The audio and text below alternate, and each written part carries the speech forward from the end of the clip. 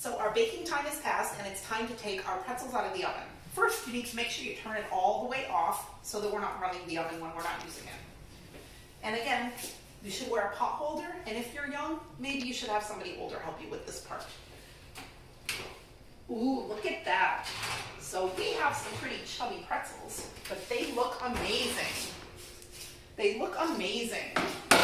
So they have poofed right up just like they were supposed to. The yeast did its job. So these pretzels are super hot. You may want to wait a few minutes before you eat anything, but you should take them off the tray so that they cool.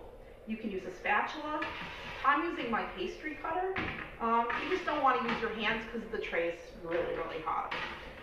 Okay, put them on our plate here.